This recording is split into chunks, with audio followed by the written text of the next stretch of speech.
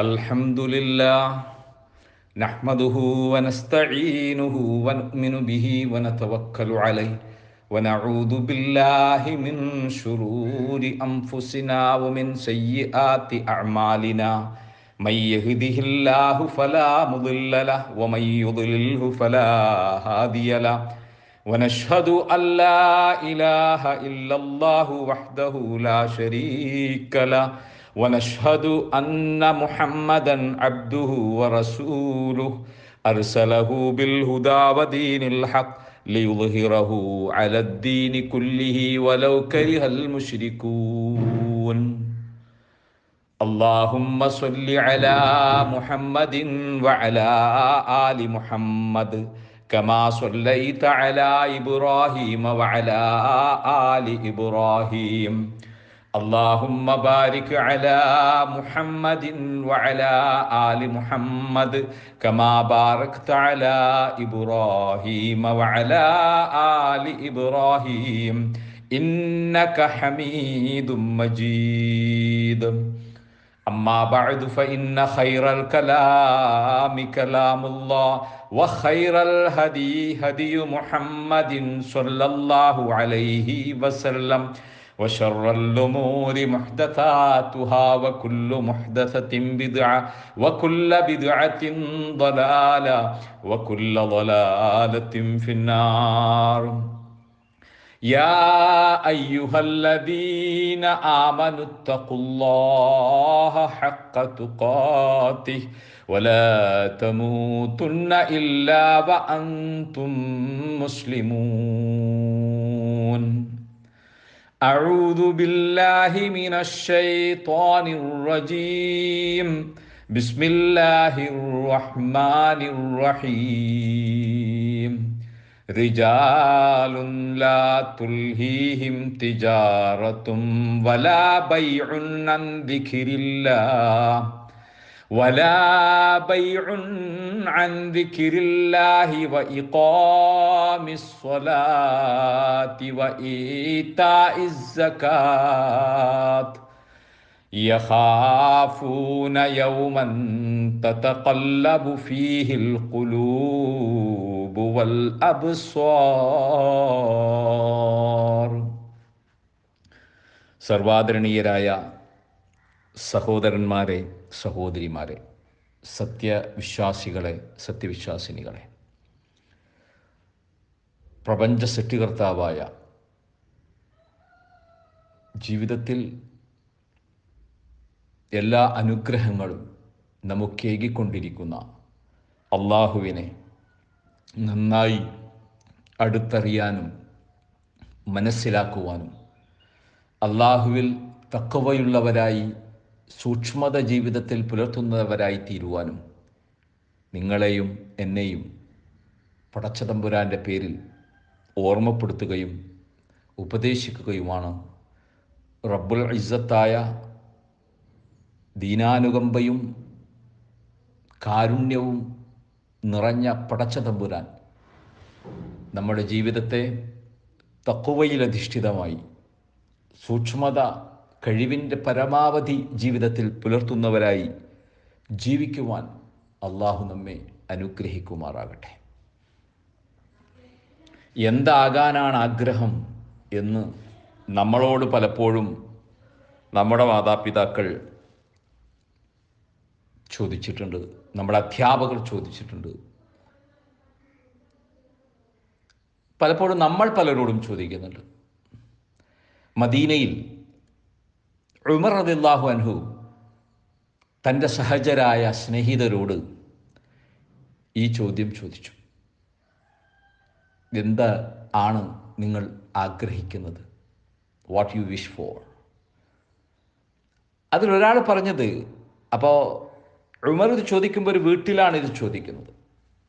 അപ്പോൾ അതിനൊരാൾ മറുപടി പറഞ്ഞത് ഈ വീട് നിറയെ സ്വർണം വേണം എന്നാണ് ഞാൻ ആഗ്രഹിക്കുന്നത്. എങ്കിൽ എനിക്കതെല്ലാം അള്ളാഹുവിന്റെ മാർഗത്തിൽ. പടച്ച തമ്പുരാന്റെ ദീനിനു വേണ്ടി ചിലവഴിച്ച് സൗഭാഗ്യം നേടാൻ എനിക്ക് കഴിയും എന്നാണ്. മറ്റൊരാൾ പറഞ്ഞത് ഈ വീട് നിറയെ രത്നങ്ങളും പവിഴങ്ങളും ആഭരണങ്ങളുമൊക്കെ ഉണ്ടായാൽ ജ്വൽസൊക്കെ ഉണ്ടായാൽ എനിക്ക് അത് അള്ളാഹുവിന്റെ പ്രീതി കാക്ഷിച്ചുകൊണ്ട് ചെലവഴിച്ച് അള്ളാഹുവിന്റെ ഇഷ്ടം നേടിയെടുക്കാൻ സാധിക്കും എന്നാണ് ഒരാൾ പറഞ്ഞത്. ഈ ചോദ്യം ഇവർ തിരിച്ച് ഉമർ അള്ളാഹുവിനോട് ചോദിച്ചു. താങ്കൾക്ക് എന്താണ് ആഗ്രഹം എന്ന്. അപ്പോൾ ഉമർ ബിൻ ഖത്താബ് അള്ളാഹുനു പറഞ്ഞ മറുപടി ഈ വീട് നിറയെ ആളുകൾ ഉണ്ടാകണം എന്നാണ് ഞാൻ ആഗ്രഹിക്കുന്നത്. റിജാൽ. എങ്ങനെയുള്ള ആളുകൾ? ഋത്തുബത്തുബിനുൽ ജറാഹിനെ പോലെ ഉബൈദ ഉബൈദത്തുബിനുൽ ജറാഹിനെ പോലെ മുആദുബിനു ജബലിനെ പോലെ അതുപോലെ തന്നെ സാലിം മൗല ഹുദൈഫ ഹുദൈഫയുടെ യജമാനനായ സാലിമിനെ പോലെയുള്ള ആളുകൾ ഇവിടെ ഉണ്ടാകണം എന്നാണ് ഞാൻ ആഗ്രഹിക്കുന്നത്. എനിക്ക് അവരെ ഇസ്ലാമിന്റെ മാർഗത്തിൽ ഉപയോഗപ്പെടുത്താൻ സാധിക്കും എന്നാണ്. ലോകം കണ്ട നീതിമാനായ അൽ ഫാറൂഖ് എന്ന അപരനാമത്തിൽ അറിയപ്പെടുന്ന ചരിത്രത്തിൽ നീതിയുടെ പര്യായമായി വിവക്ഷിക്കപ്പെടുന്ന പലരും പലവട്ടം ഉദാഹരിച്ച രണ്ടാമത്തെ ഖലീഫയായ പ്രവാചകൻ സുല്ലാഹ് അലി വസല്ലമയിൽ നിന്ന് അള്ളാഹുവിന്റെ ദീനിനെ പഠിച്ച ഉമർ ബുഖത്താബ് ആഗ്രഹം പ്രകടിപ്പിച്ചത് എന്നാണ്. നാം വിശ്വസിക്കുന്ന ആദർശം പല രൂപത്തിൽ വിമർശിക്കപ്പെടുന്നുണ്ട്. സത്യമാണെന്നറിഞ്ഞിട്ടും ഈ ആദർശത്തെ പഴി ചാരുകയും ആക്ഷേപിക്കുകയും അപഹസിക്കാൻ ശ്രമിക്കുകയും അപമാനിക്കാൻ കൂട്ടുനിൽക്കുകയും ചെയ്യുന്ന ജീവിതാവസ്ഥ വർത്തമാനകാലത്തുണ്ട് പണ്ടുണ്ടായിട്ടുണ്ട്. ഇനിയും അതുണ്ടാകുമോ എന്നതിൽ യാതൊരു സംശയവുമില്ല. നമ്മൾക്ക് മുന്നേ സഞ്ചരിച്ച നമ്മുടെ മുൻഗാമികളായ സച്ചരിതരായ ആളുകൾ അവരുടെ ജീവിതത്തിലുണ്ടായ കാഴ്ചപ്പാടുകൾ നമ്മുടെ സമൂഹത്തിൽ ആരൊക്കെയാണ് യഥാർത്ഥത്തിൽ? ഏറ്റവും നിർണായകമായിട്ടുള്ളതും ഏറ്റവും ആവശ്യമുള്ളതും എന്ന് കൃത്യമായി ചിന്തിക്കാൻ അവർക്ക് സാധിച്ചിരുന്നു എന്നാണ്. തങ്ങളിലേക്ക് വന്നു ചേരുന്ന കുറേ സ്വത്തുക്കൾ കുറേ അധികാര കേന്ദ്രങ്ങൾ കുറേ നേട്ടങ്ങൾ താൽക്കാലികമായി ലഭിക്കുന്ന സൗകര്യങ്ങൾ പലരുടെയും ഔദാര്യം കൊണ്ട് കിട്ടുന്ന സ്ഥാനമാനങ്ങൾ പദവികൾ പണം. ഇങ്ങനെ മനുഷ്യരെ സ്വാധീനിക്കുന്ന ഒരുപാട് സംഗതികൾ എല്ലാ കാലവും ഉണ്ടായിട്ടുണ്ട്. അതുകൊണ്ടാണല്ലോ ഉമർ ഖത്താബ് റദിള്ളാഹുവിന്റെ സഹജരായ സതീർത്ഥ്യരായ സ്നേഹിതർ പറഞ്ഞത് കുറേ സ്വർണം കുറേ പവിഴം കുറേ വെള്ളി കുറേ രത്നങ്ങൾ അതൊക്കെ ഉണ്ടായെങ്കിൽ അതൊക്കെ വിതരണം ചെയ്ത് അള്ളാഹുവിന്റെ മാർഗം തന്നെയാണ് അവർ ആഗ്രഹിച്ചത്. പക്ഷേ ഉമർ ഖത്താബ് ആഗ്രഹിച്ചത് കുറേ ആളുകളെയാണ്. നമ്മുടെ ചരിത്രം നമ്മൾ വായിക്കുമ്പോൾ അബൂബക്കർ സിദ്ദീഖ് അള്ളാഹു ഖലീഫയായിരുന്നപ്പോൾ ഖാലിദ് ബിൻ വലീദ് റലില്ലാഹുനഹു അദ്ദേഹത്തോട് സഹായം അഭ്യർത്ഥിച്ച് അദ്ദേഹത്തിന്റെ പോരാട്ടങ്ങളിൽ കൂട്ടായി ആൾ വേണം എന്ന് പറഞ്ഞപ്പോൾ അദ്ദേഹം ഒരൊറ്റ ആളെയാണ് പറഞ്ഞയച്ചത്. കാക്കാബിനു അമൃത് എന്ന് പറയുന്ന യർമൂക്കിലും ഉമർ ഖത്താബ് കാലത്ത് കാദിസിയായിലുമൊക്കെ ധീരമായ പോരാട്ടങ്ങൾക്ക് നേതൃത്വം കൊടുത്ത പങ്കാളിത്തം വഹിച്ച ധീരപടയാളി. അബൂബക്കർ സിദ്ദീഖ് അദ്ദേഹത്തെ ഖാലിദിനു വലീദ് അള്ളാഹുനുവിന് വിട്ടുകൊടുത്തുകൊണ്ട് പറഞ്ഞെന്താണെന്നറിയോ? പതിനോരായിരം പടയാളിക്ക് തുല്യമാണ് എന്നാണ്.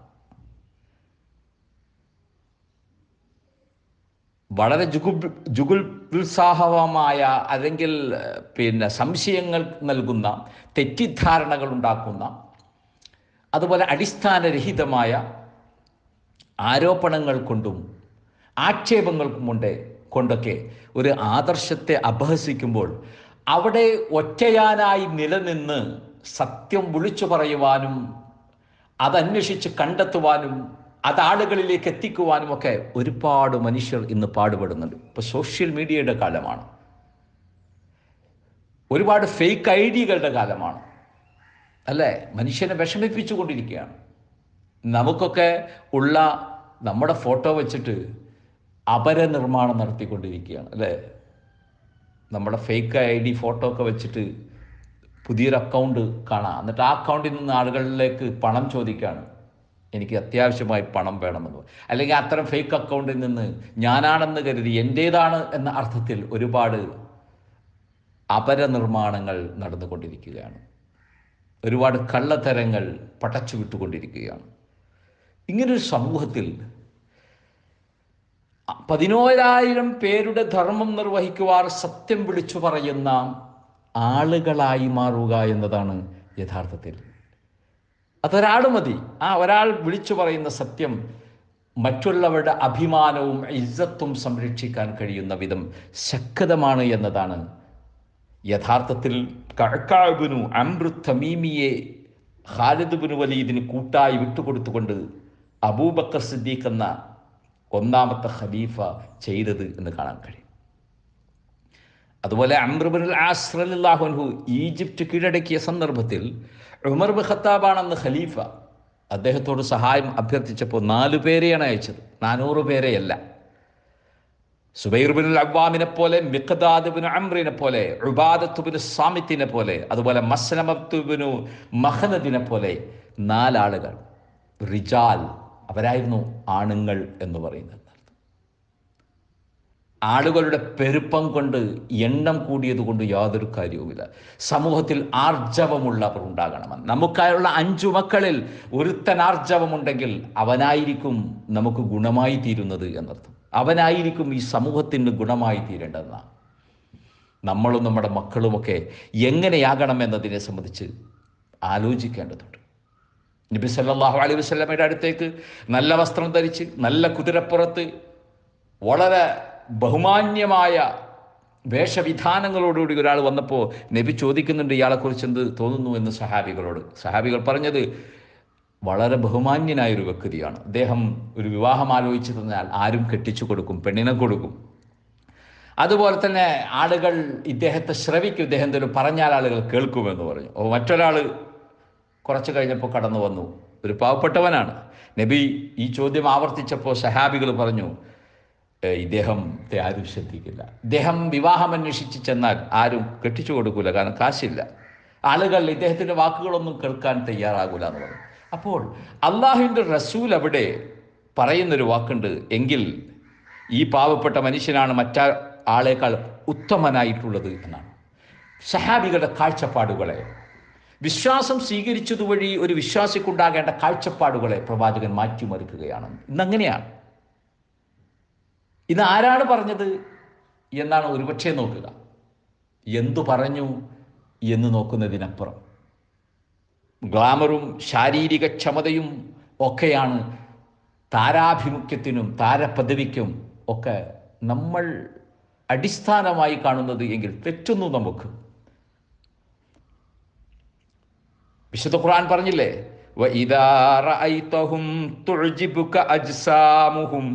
وَإِذَا رَأَيْتَهُمْ تُعْجِبُكَ أَجْسَامُهُمْ وَإِنْ يَقُولُوا تَسْمَعْ لِقُلُوبِهِمْ لِقَوْلِهِمْ كَأَنَّهُمْ خُشُبٌ مُسَنَّدَةٌ ഹിപ്പോക്രാറ്റ്സിനെ കുറിച്ച് കപടം കാപട്യം കൈമുതലാക്കിയ ആളുകളെ കുറിച്ചുള്ള ഖുർആന്റെ പരാമർശങ്ങളുടെ ഭാഗമാണ് നിങ്ങൾ അവരെ നോക്കിയാൽ അവർ നല്ല ശാരീരിക ഭംഗിയും ക്ഷമതയും ഗ്ലാമറുമുള്ളവരായി നിങ്ങൾക്ക് അവരെ കാണാൻ സാധിക്കും വയ്യക്കൂലും അവർ വല്ലതും പറയുകയാണെങ്കിൽ തസ്മഅലി കൗലിഹിം അവരുടെ വാക്കുകൾ ഇങ്ങനെ കേട്ടുകൊണ്ടിരിക്കും അല്ലേ?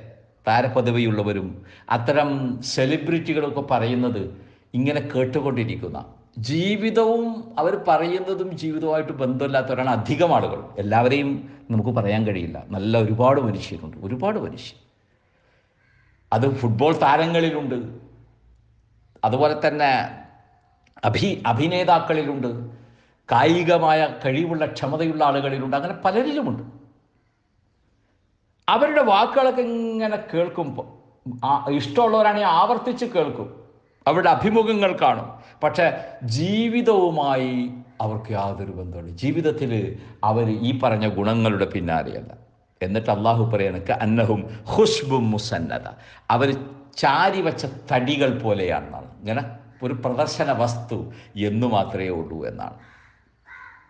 എന്റെ പ്രിയപ്പെട്ടവരെ നമ്മൾ ആർജവമുള്ള ആളുകളായി മാറണം എന്നത് ഇസ്ലാമിന്റെ താല്പര്യമാണ്. ഉമർ അള്ളാഹു നടന്നു പോകുമ്പോൾ അവിടെ കുട്ടികൾ റോഡിൽ കളിക്കുന്നുണ്ട്. ആ കുട്ടികളൊക്കെ ഓടിപ്പോയി. ഒരു കുട്ടി മാത്രം അവിടെ നിന്നു. മുറല്ലാഹു വന്നു. ആ കുട്ടിയുടെ അടുത്തിരുന്നു എന്നിട്ട് ചോദിച്ചു നീ മാത്രം ഓടിപ്പോയില്ല. എന്തുകൊണ്ട് പോയില്ല നീ? എന്ന് ചോദിച്ചപ്പോൾ ആ കുട്ടി പറയുന്ന കാര്യമുണ്ട്. ഒന്ന് രണ്ട് കാര്യം പറഞ്ഞത്. ഒന്ന് ഞാൻ ഒരു തെറ്റും ചെയ്തിട്ടില്ല. പിന്നെന്തിനാ ഓടേണ്ടത്? മറ്റൊന്ന് താങ്കൾക്കും എനിക്കും പോകാൻ ഈ റോഡ് വിശാലമാണ്. എനിക്കെന്റെ വഴിക്കും എന്റെ ദിശയിലും താങ്കൾക്ക് താങ്കളുടെ വഴിയിലും താങ്കളുടെ ദിശയിലും പോകാമെന്നർത്ഥം പിന്നെന്തിനാ പ്രശ്നം? ആർജവം എന്നത് നമ്മുടെ മക്കൾക്കുണ്ടാകേണ്ട ഗുണമാണ്. ഇസ്ലാം എന്ന വിശ്വാസവും ആദർശവും നമുക്ക് സമ്മാനിക്കുന്നത് ഏത് പ്രതിസന്ധിയിലും ഇട്ടോടുന്നവരല്ല മറിച്ച് പിടിച്ചു നിൽക്കുന്നവരാണ് ക്ഷമിക്കുന്നവരാണ്. നന്മകൾ കൊണ്ട് തിന്മകളെ പ്രതിരോധിക്കുന്നവരാണ്. അടിവരായിട്ട് നമ്മൾ മനസ്സിലാക്കേണ്ടതുണ്ട്. ഉമയ്യ ഭരണത്തിൽ നമുക്കറിയാം ഖലീഫയെ കാണാൻ ഒരു യുവാവായ ഗോത്ര പ്രതിനിധി വന്നപ്പോൾ ഖലീഫ അവനോട് പറഞ്ഞു പ്രായമുള്ള ആളെ പ്രതിനിധിയായി പറഞ്ഞേക്കാൻ പറഞ്ഞു. നീ പൊയ്ക്കോ എന്ന് പറഞ്ഞു. കാരണം പയ്യനാണല്ലോ. അപ്പോൾ യുവാവ് അദ്ദേഹത്തോട് പറയുന്നുണ്ട് പ്രായമാണ് നേതൃത്വത്തിനും പരിഗണനയെങ്കിൽ താങ്കളുടെ കുടുംബത്തിൽ തന്നെ താങ്കളെക്കാൾ അർഹരായവരുണ്ടല്ലോ എന്നാണ്. ഒന്ന് ആലോചിച്ച് നോക്കിയേ. അതാണ് ആർജവം എന്ന് പറയുന്നത്. നീതിയും സത്യവും നമുക്ക് എവിടെയും വിളിച്ചു പറയാം. എന്നാൽ ഒരു ഒരു ഒരു അപഹാസ്യമായ അപമാനകരമായ അസഭ്യമായ അൺപാർലമെന്ററിയായ ഒരു നടപടിക്രമം ഒരു വിശ്വാസിയിൽ നിന്നുണ്ടാകാൻ പാടുണ്ടോ? ഇല്ല. മാന്യമായി പ്രതികരിക്കണം. മാന്യമായി സത്യം പറയണം. ഒരു പ്രയാസമുണ്ടായാൽ അത് ഊതിക്കത്തിക്കുന്നവനായി വിശ്വാസി മാറാൻ പാടില്ല. ക്ഷമയുടെ സഹനത്തിന്റെ അനുകമ്പയുടെ പരസ്പരമുള്ള ബഹുമാനത്തിന്റെ അടയാളങ്ങളായി മാറണം എന്നാണ്. അതുകൊണ്ടാണ് പടച്ചവൻ ഇലദാരിസലാം അള്ളാഹു ഇലാദാരിസലാം അള്ളാഹു നിങ്ങളെ ക്ഷണിക്കുന്നത് സലാമിന്റെ ഭവനത്തിലേക്കാണെന്നാണ്. ഇസ്ലാം എന്ന സമാധാനം എന്ന മതം നമ്മുടെ ജീവിതം കൊണ്ട് അടയാളപ്പെടുത്തേണ്ടതാണ് എന്നാണ് പറഞ്ഞതിന്റെ അർത്ഥം. അഹങ്കാരിയായി എന്തിനേയും ധിക്കരിക്കുന്ന ആരോട് ഏത് മോശപ്പെട്ട വാക്കും ഉപയോഗിക്കാവുന്ന വിധം പ്രകടിപ്പിക്കുന്നവനാണോ ധീരനായിട്ടുള്ളവൻ അവനാണോ യഥാർത്ഥ രാജ്യസ്നേഹിയും മതസ്നേഹിയും മനുഷ്യസ്നേഹിയും ഒരിക്കലുമല്ല. ഉമർ ബിൻ അബ്ദുൽ അസീസ് അൻഹു നമുക്കറിയാം രണ്ടാം ഉമർ എന്നറിയപ്പെടുന്ന ഭരണാധികാരി. അദ്ദേഹം തന്റെ ഗസ്റ്റുമായി അതിഥിയുമായി വീട്ടിൽ ഭക്ഷണം കഴിക്കാനിരിക്കുമ്പോൾ വിളക്ക് കെട്ടുപോയി. വേഗം വിളക്ക് കെട്ടപ്പോൾ ഇദ്ദേഹം ആ വിളക്കുമായി എടു എഴുന്നേൽക്കിച്ചു അത് കത്തിക്കാൻ വേണ്ടി. അപ്പോൾ അതിഥി ചോദിക്കുന്നുണ്ട് താങ്കൾ എന്തിനാണ് ഇത് ചെയ്യുന്നത്? താങ്കൾ ഈ രാജ്യത്തിന്റെ ഖലീഫ ഭൃത്യന്മാരില്ലേ വേലക്കാരില്ലേ അവരെ കൊണ്ടത് ചെയ്തുകൂടെ എന്ന്? അപ്പോൾ അദ്ദേഹം പറയുന്നുണ്ട് എന്തിനാണ്? അവർ ക്ഷീണിച്ചുറങ്ങുകയാണ്. എന്തിനാ അവരെ ബുദ്ധിമുട്ടിക്കുന്നത് എന്ന് പറഞ്ഞ് അദ്ദേഹം പോയി ആ വിളക്ക് കത്തിച്ചു തിരിച്ചു കൊണ്ടുവന്നു. അപ്പോൾ അദ്ദേഹം അത്ഭുതത്തോടു കൂടി അതിഥി ചോദിക്കുന്നുള്ളൂ താങ്കൾ തന്നെ എഴുന്നേറ്റ് പോയി വിളക്ക് കത്തിച്ചു കൊണ്ടുവന്നോ എന്ന് ചോദിക്കുമ്പോൾ അദ്ദേഹം പറഞ്ഞൊരു വാക്കുണ്ട്. ഞാൻ ഇവിടെ നിന്ന് എഴുന്നേറ്റപ്പോഴും ഞാൻ തിരിച്ചിവിടെ വന്ന് ഇരുന്നപ്പോഴും ഞാൻ ഉമർ തന്നെയാണ്. ഉമർ അബ്ദുൽ അസീസ് തന്നെയാണ് എന്നാണ്. കാഴ്ചപ്പാടുകൾ മാറണം എന്നതാണ്. ദേഷ്യവും കോപവും പര സമൂഹ വിദ്വേഷവും പരമതവിദ്വേഷവും ഒരു വിശ്വാസി ഒരിക്കലും കൊണ്ടു നിൽക്കാൻ പാടില്ല. ഇങ്ങോട്ടൊരാൾ ആക്ഷേപിച്ചാൽ ആക്ഷേപങ്ങൾ കൊണ്ട് അങ്ങോട്ട് അപഹസിക്കാൻ പാടില്ല. നബി സല്ലല്ലാഹു അലൈഹി വസല്ലമ ഒരിക്കൽ കടന്നു വരുമ്പോൾ പള്ളിയിൽ സഹാബിമാർ തമ്മിൽ കായികമായി ഗുസ്തി പിടിച്ചുകൊണ്ടിരിക്കുക. അപ്പോൾ ഇത് കണ്ടുകൊണ്ടാണ് പ്രവാചകൻ വരുന്നത്. അപ്പോൾ ചോദിച്ചു എന്താ നിങ്ങൾ ചെയ്യുന്നത്? അപ്പോൾ പറഞ്ഞു ഞങ്ങളിങ്ങനെ റെസ്ലിംഗ് നടത്തിക്കൊണ്ടിരിക്കുകയാണ് എന്ന് പറഞ്ഞു. അപ്പോഴാണ് പ്രവാചകന്റെ പ്രശസ്തമായ വചനം. എന്ത്? ഗുസ്തിയിൽ ജയിക്കുന്നവനല്ല ശക്തൻ. മറിച്ച് കോപവും ദേഷ്യവും ദോഷവും ഉണ്ടാകുമ്പോൾ അടക്കി നിർത്തുന്നവനാണെന്നാണ്. നമ്മുടെ ജീവിതത്തിൽ എപ്പോഴും ആവശ്യമുള്ളതാണ്. അപ്പം നമുക്ക് നല്ല മസിലും നല്ല പവറുള്ള ശരീരം ഉണ്ടായിട്ട് കാര്യമുണ്ടോ? ദേഷ്യം വരുമ്പോൾ ക്ഷമിക്കാൻ കഴിയുക. അവധാനത കാണിക്കുക. മറ്റുള്ളവരുമായി സഹവസിക്കുമ്പോൾ അവരുടെ ഇഷ്ടങ്ങൾ കൂടി പരിഗണിക്കുക. ഇങ്ങനെ ഇങ്ങനെ ഇങ്ങനെ. ജീവിതത്തിൽ നമ്മൾ ശ്രദ്ധിക്കേണ്ട ഒരുപാട് കാര്യങ്ങൾ. അപ്പോൾ കോപത്തെ നമ്മളെ അക്ഷമരാക്കുന്ന വികാരം കൊള്ളിക്കുന്ന ഒരുപാട് വാർത്തകൾ ലോകത്തുണ്ടാകും. അതിനൊക്കെ വശം കെട്ട് വശംബദരായി തീരേണ്ടവരാണോ വിശ്വാസികൾ? ഒരിക്കലുമില്ല. വിശുദ്ധ ഖുർആൻ യഥാർത്ഥ റിജാലുകളെ കുറിച്ച് പുരുഷന്മാരെ കുറിച്ച് പറയുന്നിടത്ത് പറയുന്നുണ്ടല്ലോ. മിനൽ മുഅ്മിനീന റിജാലുൻ സ്വതകൂമാ അലൈഹി ഫമിൻഹും മൻ നഹ്ബ. വിശ്വാസികളായ ആളുകളിൽപ്പെട്ട റിജാൽ യഥാർത്ഥ പൗരുഷമുള്ള ആളുകൾ. അവരെക്കുറിച്ച് റിജാൽ എന്ന് ഖുർആൻ പറഞ്ഞിട്ട് പറയുന്ന ഗുണം എന്താ? സ്വതക്കൂമാ ആഹദുല്ല അള്ളാഹുവുമായി അവർ ചെയ്ത കരാറുകൾ അവർ പാലിക്കുന്നവനാണ് എന്ന് അവിടെയാണ് നമ്മൾ പുരുഷന്മാരായിട്ട് മാറേണ്ടത്. വാപ്പ ആ വാപ്പ എന്ന പുരുഷൻ അള്ളാഹുവുമായുള്ള കരാറ് പാലിക്കുന്നുണ്ടോ? പ്രഭാതത്തിൽ ഒരു വിശ്വാസി എന്റെ രക്ഷിതാവ് അള്ളാഹുവാണ് എന്ന് ബോധ്യപ്പെടുത്താൻ വേണ്ടി ആദ്യം ചെയ്യുന്ന പണികളിൽ ഒന്ന് രണ്ട് റക്കായത്തുള്ള സുബഹി നമസ്കാര. അത് സുബഹ് സമയത്ത് നിസ്കരിക്കേണ്ടതാണ്. ചെയ്തോ? എന്താണോ അള്ളാഹുമായി കരാർ ചെയ്തത് അത് പാലിക്കുന്നവരാണ്. മിൻഹുമ്മൻ രക്തസാക്ഷിത്വത്തിലൂടെ തങ്ങളുടെ പ്രതിജ്ഞ നിറവേറ്റാൻ അവർ തയ്യാറായ ആളുകളാണ്. അപ്പോൾ പടച്ചോൻ എനിക്ക് തന്ന ജീവിതം എനിക്ക് തന്ന അനുഗ്രഹങ്ങൾ അതിനൊക്കെ ഞാൻ നന്ദി കാണിക്കേണ്ടതില്ല എന്ന്. അതുകൊണ്ട് എന്റെ പ്രിയപ്പെട്ടവരെ നമ്മൾ നമ്മുടെ മക്കളും എന്റെ പ്രിയപ്പെട്ട സഹോദരിമാരെ നിങ്ങളുടെ മക്കളെ നിങ്ങളെങ്ങനെ വളർത്തണം? മകനെ മക്കളെ വാപ്പയുമ്മയൊക്കെ ശ്രദ്ധിക്കേണ്ടത് പ്രശംസിക്കണം. അവരെ പുകഴ്ത്തണം അവരെ പ്രോത്സാഹിപ്പിക്കണം നല്ല കാര്യങ്ങളിൽ. ഈ വീട്ടിലെ നല്ലവനായ പുത്രിയാണ് അല്ലെങ്കിൽ നല്ലവനായ പുത്രനാണ് ഇവൻ.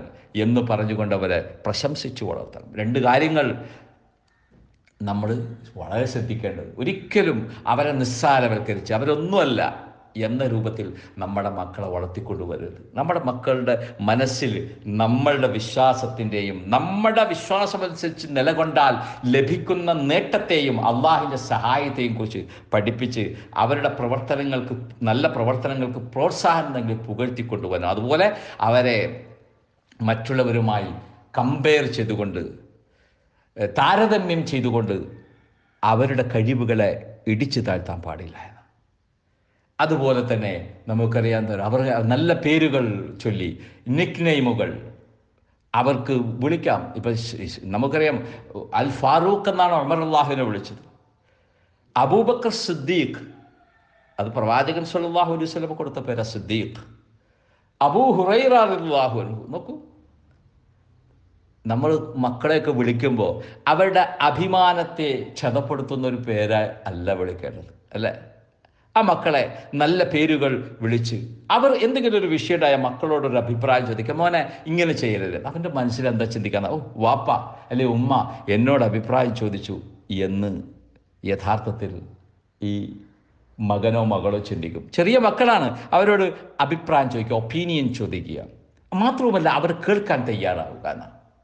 ഇങ്ങനെ നമ്മൾ നല്ലൊരു കോമ്പസേഷൻ അവരുമായിട്ട് നല്ലൊരു ബന്ധം ഈ മക്കളുമായിട്ടുണ്ടായാൽ അവർ നമ്മുടെ ഒപ്പം എത്തുമ്പോഴും നല്ല ആർജവും മനസ്സിന് നല്ല ബലമുള്ളവരായി തീരുമെന്നാണ്. ഒരു പ്രതിസന്ധി വന്നാൽ തളരുന്നവരാവില്ല എന്താണ് ഇങ്ങനെയൊക്കെ കേൾക്കുന്നത് എന്ന് പറഞ്ഞ് തളർന്നു പോകുന്നവരല്ല എന്നർത്ഥം.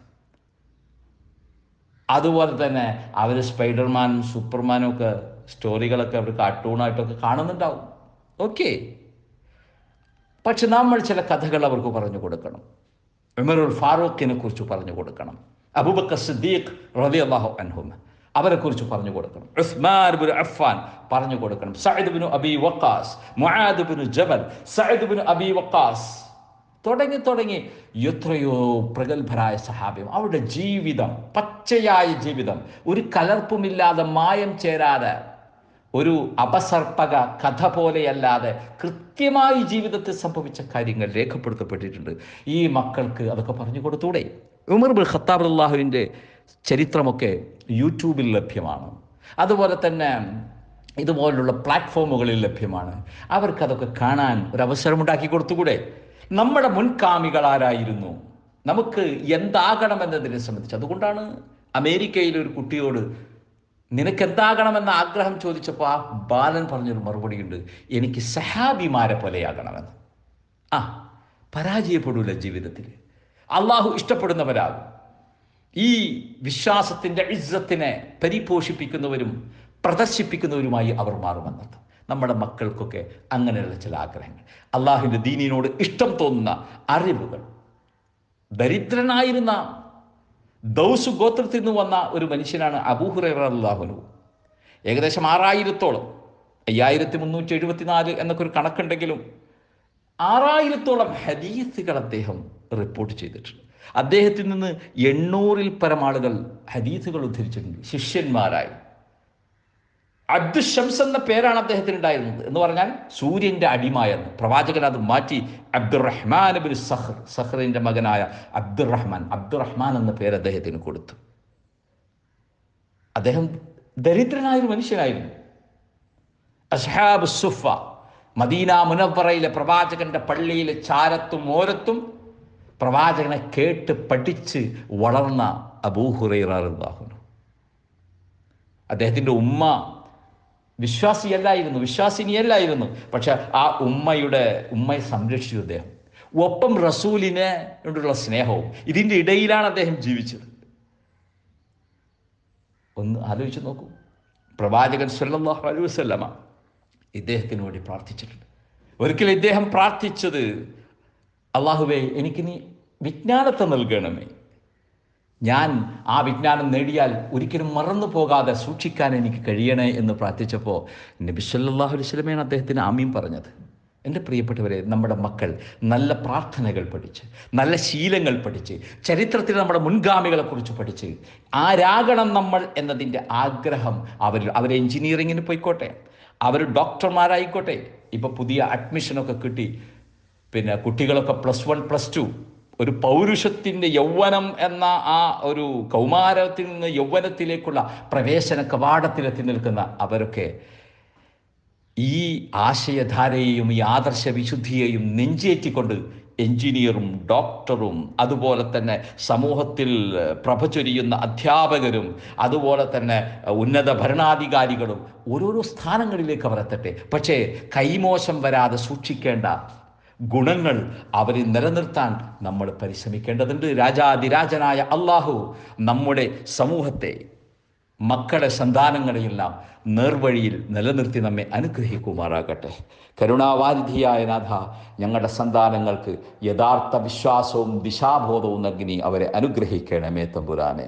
ഞങ്ങളുടെ മക്കൾ ഞങ്ങളുടെ മനസ്സിന് കുളിർമ നൽകുന്ന നാടിന് ഉപകാരപ്പെടുന്ന ഏതു മനുഷ്യനും ഗുണം ചെയ്യുന്ന നല്ലതാഗ്രഹിക്കുന്ന നല്ല മക്കളായി തീരാൻ നല്ല മനുഷ്യരായി തീരാൻ അള്ളാഹുവെ ഞങ്ങളെയും ഞങ്ങളുടെ സന്താനങ്ങളെയും നീ അനുഗ്രഹിക്കണം തമ്പുരാനെ.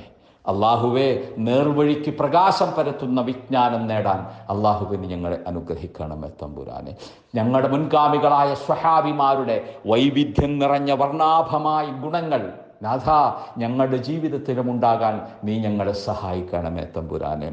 നല്ലത് പറയുകയും നല്ലത് ആഗ്രഹിക്കുകയും നല്ലത് പ്രവർത്തിക്കുകയും യാതൊരു വിവേചനം കൂടാതെ ഓരോ മനുഷ്യർക്കും നന്മ ചെയ്യാൻ അള്ളാഹുവെ ഞങ്ങൾ സഹായിക്കണമേ തമ്പുരാനെ. പാവപ്പെട്ടവർക്കും പ്രയാസപ്പെടുന്നവർക്കും അവിടെ കണ്ണീരൊപ്പാൻ കഴിയുന്ന വിധം വിശാലമായൊരു മനസ്സ് ഞങ്ങൾക്കേവർക്കും നൽകി നീ ഞങ്ങളെ അനുഗ്രഹിക്കണം എത്തുമ്പോഴാണ് റഹ്മാനായ റബ്ബെ ഞങ്ങളുടെ ജീവിതത്തിൽ അറിഞ്ഞും അറിയാതെയും ചെയ്തു പോയ തെറ്റുകളുണ്ട്. തെറ്റാണെന്നറിഞ്ഞിട്ടും വന്നു പോയ വീഴ്ചകളും ന്യൂനതകളുമുണ്ട്. നാഥ നീ ഞങ്ങൾക്ക് പുറത്തു തരണമേ തമ്പുരാനെ. ഞങ്ങളെ വളർത്തി വലുതാക്കിയ ഞങ്ങളുടെ മാതാപിതാക്കളുണ്ട് നാഥ. പലരും ഞങ്ങളോടൊപ്പം ഇല്ല. അള്ളാഹുവേ നീ അവരെ സ്വീകരിക്കണമേ തമ്പുരാനെ. അവരുടെ തെറ്റുകുറ്റങ്ങൾ നീ പുറത്തു മാപ്പാക്കി അവർക്ക് നീ സ്വർഗം നൽകണമേ തമ്പുരാനെ. റഹ്മാനായ റബ്ബെ ഞങ്ങളോടൊപ്പം ജീവിക്കുന്ന ഞങ്ങളുടെ മാതാപിതാക്കളെ സേവിക്കുകയും അവരോട് സ്നേഹം പങ്കിടുകയും അവരെ സംരക്ഷിക്കുകയും ചെയ്തുകൊണ്ട് അവരുടെ പ്രാർത്ഥന കിട്ടുന്ന നാഥ അവരുടെ ഇഷ്ടവും തൃപ്തിയും കിട്ടുന്ന അതിനേക്കാളുപരി നിന്റെ തൃപ്തിയും നിന്റെ ഇഷ്ടവും കിട്ടുന്ന നല്ല മനുഷ്യരായി നല്ല വിശ്വാസികളായി തീരാൻ അള്ളാഹുവെ ഞങ്ങളെ നീ അനുഗ്രഹിക്കണമേ തമ്പുരാനെ. റഹ്മാനായ റബ്ബേ ഭർത്താക്കന്മാർ മരണപ്പെട്ടു പോയ വിധവകളായ സഹോദരിമാരുണ്ട്. നാഥ അവരുടെ ജീവിതത്തിൽ നീ സന്തോഷം നൽകണമേ തമ്പുരാനെ. റഹ്മാനായ റബ്ബേ ഭാര്യമാർ മരണപ്പെട്ടു പോയി. ഏകാന്ത ജീവിതത്തിലൂടെ കടന്നു പോകുന്ന സഹോദരങ്ങളുണ്ട്. നാഥ അവരുടെ ജീവിതത്തിന് നീ സൗരഭ്യം നൽകി സന്തോഷം നൽകി ജീവിതത്തിന് സൗഖ്യം നൽകി നീ അനുഗ്രഹിക്കണം തമ്പുരാനെ. റഹ്മാനായ റബ്ബെ മാതാപിതാക്കൾ മരണപ്പെട്ടു പോയ തീമുകളായ മക്കളുടെ അനാഥകളായ മക്കളുണ്ട്. നാഥ ആ മക്കൾക്ക് നല്ല വളർച്ചയെ നീ പ്രദാനം ചെയ്യണമേ തമ്പുരാനെ. അവരെ നീ നേർവഴിക്ക് നടത്തണമേ തമ്പുരാനെ. റഹ്മാനായ റബ്ബെ രോഗങ്ങൾ കൊണ്ട് പ്രയാസപ്പെടുന്ന ഒരുപാട് മനുഷ്യരുണ്ട്. നാഥ ആ രോഗത്തെ നീ ശിഫയാക്കി കൊടുക്കണമേ തമ്പുരാനെ. ഹോസ്പിറ്റലുകളിൽ കയറി ഇറങ്ങി പ്രയാസപ്പെടുന്ന ഒരുപാട് ഒരുപാട് മനുഷ്യരുണ്ട്. നാഥ അവരുടെ പ്രയാസങ്ങളെ നീ ദൂരീകരിക്കണമേ തമ്പുരാനെ. റഹ്മാനായ റബ്ബെ ഈ മഹാമാരിയുടെ ഉപദ്രവങ്ങൾ നീക്കി നീക്കി ഞങ്ങൾക്ക് പഴയതുപോലെ സ്വാതന്ത്ര്യത്തോടുകൂടി അള്ളാഹുവെ നിന്നെ സ്മരിച്ചും നിന്നെ ഓർത്തും ജീവിക്കുവാൻ അള്ളാഹുവെ നീ ഞങ്ങൾക്ക് തോഫിക്ക് നൽകണമേ തമ്പുരാനെ. പള്ളി അങ്കണങ്ങളിൽ ഒരുമിച്ച് കൂടി അള്ളാഹുവിന്റെ കലാവിനെ കേൾക്കാൻ പടച്ചവന്റെ മുന്നിൽ സുജൂത് ചെയ്യാൻ കഴിയുമാറ്. ഞങ്ങളുടെ പള്ളിയുടെ വാതായനങ്ങൾ തുറന്ന് ഞങ്ങൾക്ക് അവിടെ നമസ്കരിക്കുവാനും പ്രാർത്ഥിക്കുവാനുമുള്ള തൗഫീക്കിനെ നീ നൽകണമേ തമ്പുരാന്. എല്ലാ ജാതി മതസ്ഥരോടും സ്നേഹം പങ്കിടുന്ന എല്ലാവരോടും സ്നേഹസമസ്രണമായ പെരുമാറ്റത്തിലൂടെ അള്ളാഹുവെ ജീവിച്ചു മുന്നോട്ട് പോകാൻ എല്ലാവരെയും ചേർത്ത് പിടിക്കാൻ ഈ രാജ്യത്തിന്റെയും നാടിന്റെയും ഒക്കെ എല്ലാ ഉന്നതിക്കും വേണ്ടി പ്രവർത്തിക്കുന്ന വിശ്വാസി സമൂഹമായി മാറാൻ അള്ളാഹുവെ ഞങ്ങളെ സഹായിക്കണം എത്തമ്പുരാന് പരമത വിശ്വാസികളെയും സഹോദരങ്ങളെയും അധിക്ഷേപിക്കാതെ അവരെ കുറ്റം പറയാതെ അവരെ അപമാനിക്കാതെ അവർക്ക് സ്നേഹം നൽകി അവരെ സഹായിച്ച് അവരെ ചേർത്ത് നിർത്തി മുന്നോട്ട് പോകുന്ന വിശ്വാസത്തിന്റെ മാധുര്യം അനുഭവിക്കാൻ അള്ളാഹുവെ നീ ഞങ്ങൾ സഹായിക്കണം എത്തമ്പുരാണ് അള്ളാഹു